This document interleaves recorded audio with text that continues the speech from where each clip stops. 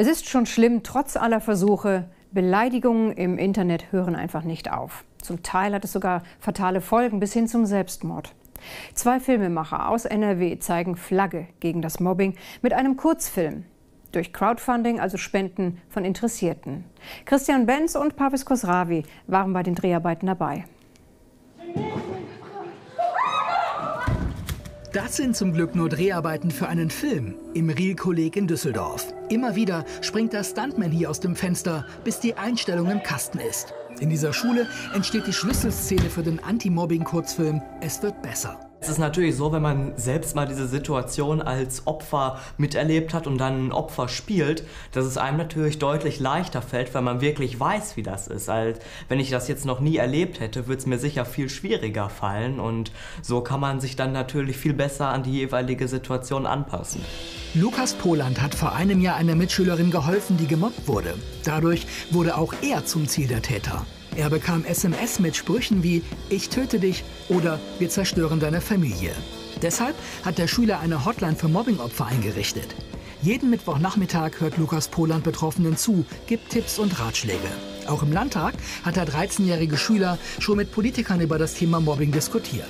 Und weil über die Beleidigungen und ihre Folgen aufgeklärt werden muss, sind auch Profi-Schauspieler wie Ursula Strauß mit an Bord.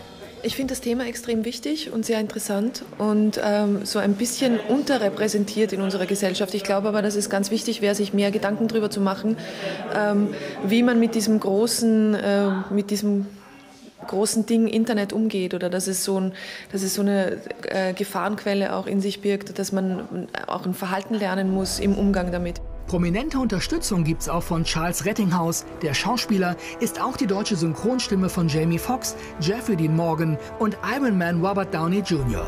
Wie heißt der nochmal? Charles Rettinghaus. Und der erhebt seine Stimme heute gegen Mobbing. Die, die das schreiben, da sind sie wirklich so bescheuert, dass sie gar nicht wissen, was sie schreiben oder sie nehmen es gar nicht mehr wahr. Und deswegen finde ich es ganz wichtig, dass man solche Filme macht und auch zeigt, dass man den Leuten zeigt, hey, guck mal, das kommt vielleicht dabei raus. Auch wenn du in dem Moment, wo du diesen Satz schreibst, denkst, na ja, wieso, ich beleidige ihn doch nur. Aber vielleicht bringst du ihn damit auch um. Möglich gemacht wurde der Dreh zu diesem Kurzfilm durch Crowdfunding, durch die Spenden von Menschen, die dieses Projekt interessiert.